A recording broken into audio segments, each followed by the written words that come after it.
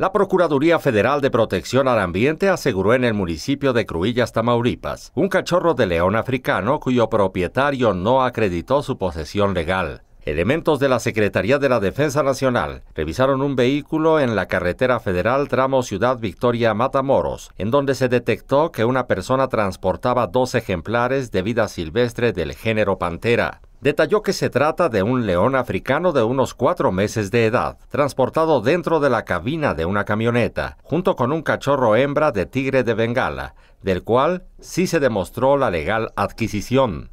Ante esta situación, el ejemplar de vida silvestre fue trasladado a una unidad de manejo para la conservación de la vida silvestre en la entidad, donde fue revisado por especialistas. La Profepa refirió que el artículo 51 de la Ley General de Vida Silvestre establece que se debe comprobar la legal procedencia de ejemplares de vida silvestre que se encuentran fuera de su hábitat natural.